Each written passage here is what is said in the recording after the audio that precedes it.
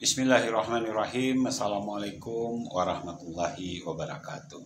Saya Nova Iriansyah, Gubernur Aceh, atas nama pribadi, atas nama pemerintah Aceh, mengucapkan selamat ulang tahun yang ke-35 Forum Komunikasi Generasi Muda Pidi atau Fokus Gampi Banda Aceh. Semoga di usia yang tidak lagi muda ini, Fokus Gampi terus dapat melahirkan generasi-generasi muda Aceh yang mampu bersaing secara global dan tentunya terus mampu menjaga moralitas, intelektualitas, dan silaturahmi sesama anak bangsa.